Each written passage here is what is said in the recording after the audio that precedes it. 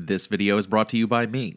Check the Patreon link in the description below to see how you can support the channel directly for as low as $1 a month. Thanks for helping to keep the channel going.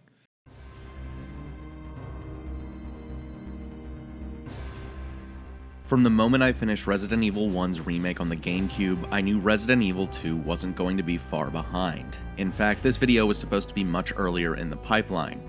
I was house sitting alone on a rainy night, ready to go when the sudden realization that I'd forgotten to pack a controller set in. I was so mad I didn't boot the game back up for six weeks. Eventually I came back to it, misdirected rage aside. My relationship with Resident Evil 2 is a bit odd. While Remake was the first game I completed as the Lord intended, I played Leon's campaign in Resident Evil 2 way back in high school on my PSP with unlimited ammo and a chain gun. Back then, it was the only way I could ever see myself finishing that game, and after slaughtering everything in my path, I never bothered playing Claire's campaign. But even back then, the world of Raccoon City had me hooked. The atmosphere alone was enough to give me the chills. Even though I had only ever played the game once over the course of one night way back then, so much of the magic stood out to me. And now that I went back and played it again, I was shocked at how much I remembered just from that quick brush with it. The iconic opening where Leon must walk through the burning streets of the undead to seek shelter, the slow descent of the train and ensuing battle, the nightmare plant demons. When I was in high school and friends were talking about the series, I wanted to seem cool, so I always said 2 was my favorite while conveniently omitting that it was the only one that let me cheese my way through to the finish. So playing RE2 from start to finish with Leon and Claire's campaign in full felt like reckoning with my own stupidity. Now when I say I love RE2, there's context attached to it, and I'm really excited to share with you why this game is spectacular even more than 20 years later.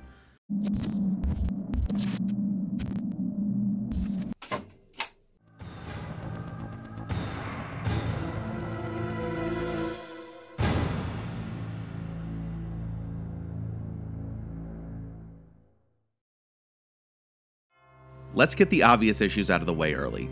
Coming from Remake, one of the best survival horror games of all time, realizing the GameCube version of Resident Evil 2 is little more than the Dreamcast port with slightly more control options is a bit disappointing. The graphics and voice acting are pretty dated, which in my opinion speaks less about RE2 and more shows how timeless Remake is. However, it does make the idea of a remaster in the vein of Resident Evil 1 a tad bittersweet, no matter how amazing the recent remake was. The graphics look understandably old, and the character models definitely jank around when asked to do complex movements in the cutscenes. At least it matches the script and subsequent voice acting. It's find my brother. You're right. This is just the beginning. Outside of these small complaints about a game that looked fine when it came out, RE2 is fantastic. The situation in Raccoon City has gotten much worse since we left the Spencer Mansion. Since the STARS agents escaped near death in the first game, they've been demonized and dissolved. The Umbrella Corporation launched a smear campaign against the team, and with Raccoon City Police Department in their pockets, they managed to cover the T virus incident very easily. Raccoon City is a small town that owes much of its growth to Umbrella, so the townsfolk might be quick to forgive and ignore the pharmaceutical giant's mistakes and rather take the PR and spin they are fed. And as a result, no one asked questions about the string of mistakes that led to the events of the first game. But the time for questions has long passed. Upon arriving in the city, Leon Kennedy, a rookie cop about to clock in for his first shift, and Claire Redfield, the college age motorbike rider looking for her brother Chris, are immediately confronted with the zombie apocalypse that has descended on Raccoon. Talk about a case of the Mondays. Leon makes this game a little bit more political than it would be otherwise. If Resident Evil 1 was about a mega company playing God and experimenting on people for power gain and bioweapon crafting, Resident Evil 2 is about what the elite will do to stay unaccountable and how far they will go to cover up their mistakes. Leon is a newbie cop with the intentions to make a difference, and instead he walks into the belly of a corrupt police department that sole purpose has evolved into being a puppet for Umbrella. Claire's story also kind of goes along with that idea because she is searching for her brother who has seemingly went off the grid. She can't get a call or message to him no matter how hard she tries, and after weeks of waiting, she goes to Raccoon to see for herself what the deal is. Chris, one of the protagonists from the first game, was exiled with the rest of his team of elite officers for doing their jobs. The stars literally died to get to the bottom of the Umbrella conspiracy, and the only few members left were discredited and thrown away. In a lot of ways, Resident Evil 2 is about the shattering of innocence. Claire and Leon arrive in Raccoon City in the midst of what is essentially a localized version of the end of the world, and yet still the characters remain optimistic that everything will be fine. If Claire can just find her brother, everything will be okay. If Leon can just make it to the RPD headquarters, he can work with the other stand up officers of the law to restore order. These characters are young and deliberately so. They act their age and still believe, even when presented with the information that everything is well beyond repair, that the light is still at the end of the tunnel. Only what they find is that they were never in a tunnel. They just walked into a one way cave that ends abruptly, no end in sight. Side note, and this is an assumption based on how I read into Claire and Leon with no proof, I bet neither of them have worked a high school retail job, because by the time I was their age, I was nowhere near as optimistic as they are. For my playthrough, I chose to play as Leon because I wanted to see him at his roots. I loved Resident Evil 4 and wanted to see where he began as opposed to when he became a brooding, roundhouse kicking agent from that game. And by the time it was over, I could absolutely see how he went from young policeman looking to save the day against all odds to diving out of second story windows. Now is a good time to mention that this is the wrong choice because, according to a few different places on the internet, you're supposed to play as Claire first and Leon second, and it changes the story pretty drastically. Oops. Anyway, after splitting up, Leon and Claire set off on different paths to get into the police station, a place they both believe will be the safest place from the Scourge. Their naivety is on full display here. Upon arriving at the station after ducking the flaming undead walkers, Leon's biggest fear comes true. The RPD has fallen, and only stale, rotten air remains inside of the mansion esque former art museum. Leon's focus shifts from saving his own skin to saving survivors while trying to dig into the truth about what happened in this otherwise sleepy town. After just finishing Remake, going into RE2 felt like a comfortable t shirt, tank controls and all. I certainly missed the quick turn, but I learned to adjust. My mastery of clunky controls made me feel capable and ready to scoot around enemies, a skill that came in handy as many of the creatures you face are straight up bone chilling. I am not afraid of monsters, but lickers live in my head rent free. From the moment you turn the corner in the safe room and see that fucker crawl in front of the window, I knew I wasn't gonna like what was coming next. From a bunch of shattered windows, in crawls this beast with razor sharp claws and a tongue that just won't quit. Lickers aren't the only horrifying creature you come across this time around either. Leon has run ins with the G mutant multiple times, only the difference is he keeps mutating every time you see him, getting more and more powerful. I am also afraid of wasps, so this big ass, moth ass, wasp ass demon made my stomach turn a little bit. Leon's arsenal of weapons made facing these demons a bit of a challenge as opposed to his counterpart. He begins with the Matilda, a small handgun that can be upgraded with a stock that enables the triple shot, a magnum reminiscent of Barry Burton's Silver Serpent but less cool looking, a single use Uzi, a shotgun, and a late game flamethrower. Through most of the game, you're going to be stuck with the Matilda and the shotgun, and just because you're stuck in a police station doesn't mean you have piles of ammo at your disposal. And you might be wondering how that works. Well, instead of picking up a memo from an officer saying the ammo was running low as the zombies assaulted the station, the game justifies it by giving you a memo that Brian Irons, the police chief, has begun a full station sweep and relocation of ammo because of a pending terrorist threat. Because why would you want ammo when a terrorist is on the way? It's stupid, but for reasons we can circle back to, not as stupid as you think. But still stupid nonetheless. Leon and Claire converge in the STAR's office where we find out Chris has packed up and left, and the two agree to keep digging, Leon trying to bring down Umbrella with proof, and Claire so she can bring Chris home safely.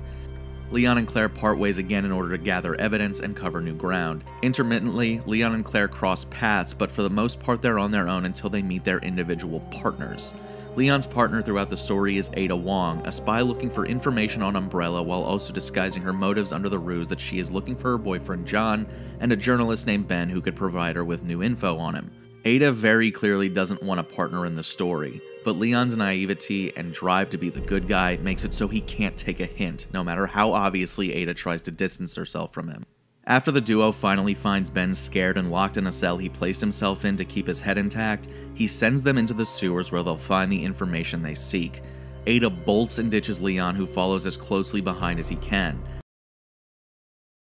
After finally catching up with Ada, he finds her in a standoff with Annette Birkin, the wife of the scientist William Birkin, who is nowhere to be found.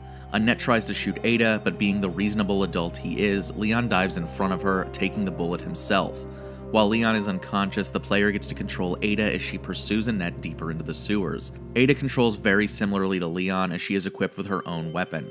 Earlier in the game, Ada is also used to help Leon get one of the station keys he wouldn't be able to get otherwise.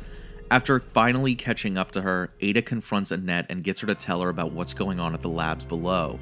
Umbrella learned about William's work on a new virus known as the G virus and sends a team of agents in to kill him and take a sample of it. Instead of rolling over and dying, Will does the opposite, injecting himself with the virus and mutating into a monster. That mutant Leon keeps running across, that's William Birkin all along, ripping people in half and everything. As a result, Annette will do anything to protect William and his secret, even kill to do so. But before Annette has time to shoot Ada, Ada disarms her and sends her into the sewer water below. As Leon wakes up and gets bandaged by Ada, they set off deeper into the sewer system to find the G virus and Birkin. After hopping on a train platform that takes them to the Umbrella Labs, William shows himself once again, slicing through the train and injuring Ada. After a heated fight on the platform, William retreats and Leon carries Ada to safety in a safe room.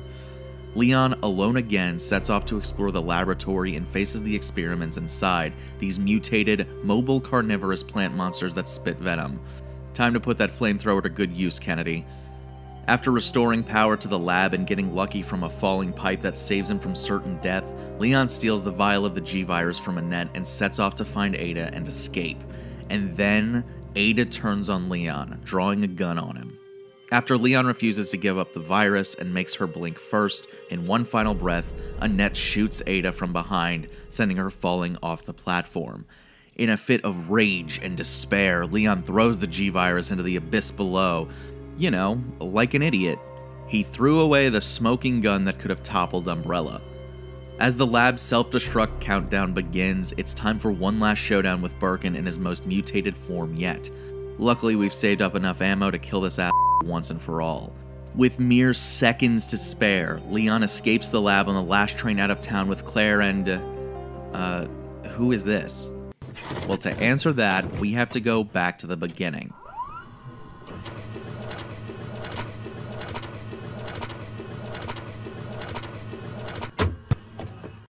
After escaping the fate of becoming the latest IHOP menu item, Claire takes a roundabout way to get into the police headquarters.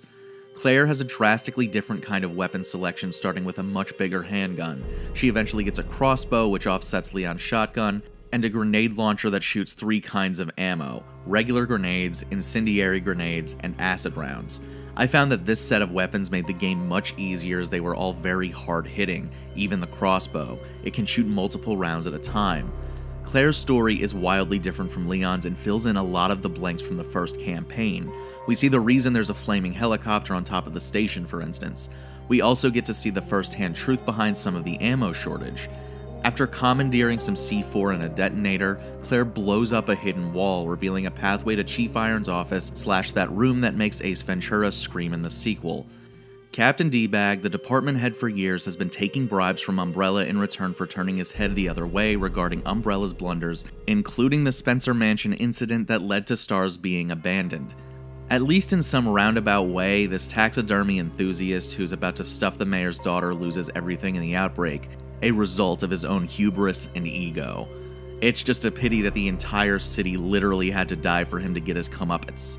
In my experience, Claire's story was drastically superior, despite her being a more difficult character to play as with lickers everywhere. As much as I loved Ada playing Leon and Leon not being able to take a hint, I was way more interested in Claire's story and seeing the corruption unfold. After Claire meets Leon in the STARS office, she stumbles upon a small girl named Sherry, Sherry Birkin, the daughter of the G Virus's dad, William, and Annette. Claire sets her sights on trying to keep Sherry safe as she's stalked by the pale Hulk in a trench coat dubbed Mr. X. X is a terrifying figure because he's seemingly indestructible and always seems to appear at the moment I'm taking a sip of something that is soon after spat all over the room as he Kool Aid mans through a wall. This guy is dropped into the police station via helicopter to hunt Sherry because, as it turns out, her big gold necklace you can't possibly miss contains a sample of the G virus. Umbrella wants it back, and as Claire's MO is to protect Sherry, She crosses Mr. X more than a few times.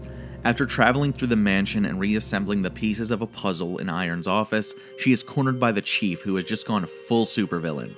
Just before he pulls the trigger, Birkin reaches through the trapdoor in the floor and grabs him, slicing him clean in half. Now it's Claire's turn to face the G Mutant himself. Luckily, after a few shots and dodging his lead pipe, he goes down easy, retreating into the depths below. Claire and Sherry make their way to the sewers too, just a few steps behind Leon and Ada. Before they can descend to the labs below, she has to retrieve the train where she faces Mr. X once again. Similarly to Leon, Birkin attacks the train on the way down, only this time the train locks itself into place. It unjams itself while Claire is in another part of the map, meaning Sherry and Claire are separated once again in this miserable lab. After eventually finding her way down into the lab, Annette corners her too, and is only distracted by security footage of Mr. X cornering Sherry. Claire dashes to save her, and just in the nick of time, Sherry throws Claire her pendant, allowing Sherry to make a quick escape. Tricking Mr. X into playing fetch with the pendant, she dodges a punch from the beast, which sends the lab into the self destruct sequence. Claire chucks the pendant into a molten pit below, and X chases it into the lava. But this bastard won't die. He crawls out of the fire, ready to face Claire one last time when she isn't expecting it. With Sherry on the train, Claire has to restore power to the tracks, and doing so distracts her long enough for Mr. X to make his move. After a heated back and forth battle where very little damage seems to be done to the hulking beast, a mysterious shadow that definitely isn't Ada tosses Claire a rocket launcher, very reminiscent of the first game. One shot is all it takes, and Mr. X is toast. Claire jumps on the train the moment Leon makes his final appearance, and they escape on the train together. Roll credits. Just kidding. The train has a self destruct sequence too, and it detects a potential viral outbreak on board. Birkin didn't die during Leon's final battle after all, and appears on the train as a big rotten scoop of my high school cafeteria's Tuesday surprise. In the true final showdown, Sherry stops the train while Claire holds Birkin off. Leon escapes through a hatch in the bottom of the train, and the three escape as the train explodes. The game ends with Claire vowing to find her brother, and Leon swears to bring down Umbrella, which would have been a lot easier if he didn't throw the virus into the void. Resident Evil 2 was a non stop thrill ride from start to finish. It was an absolute blast, likely due to how the puzzles changed drastically between campaigns. And as I mentioned earlier, they change again if you play Claire A and Leon B. There is so much to love about this game, I can see why it's some people's favorite. Well, younger me, I finally finished RE2 in its intended way. Are you happy now? I am. Crushing the first two Resident Evils was something you never thought you'd be able to accomplish, and look at you now. Unemployed and telling people you play video games for a living. The human spirit is truly resilient. This game was a wholly wonderful experience, and even though I played through both campaigns within two days, I still want to go back and play the campaigns in opposite order to see how the story was truly meant to be experienced, or at least retconned into being the correct timeline. As much as I loved the Resident Evil 2 remake, I wish there would have been a remaster of this game the way it was when Remake of 1 came out, and after searching I realized a similar remake was planned, but was scrapped so development wouldn't delay Resident Evil 4 and we all know how that turned out. While we may never get that kind of remake, the game that we are left with is truly something special, a great follow up to an already great game. It retains a lot of the tension and soul that was so good about Resident Evil 1, and it's a more than worthy successor to one of the best games I have ever played. Thank you so much for watching my video, I really appreciate it. If you like the video, please consider leaving a like on it. What is your favorite Resident Evil? Let me know in the comments down below. Lastly, if you don't want to miss another one of my videos, please consider subscribing and turning on notifications. If you want to support the channel directly, you can go to my Patreon link below and check it out. I want to take a moment to mention my higher tier patrons, Andrew Lang, Andrew Elmore, and 8-Bit Jesus. Thank you so much for watching, and I'll see you next time.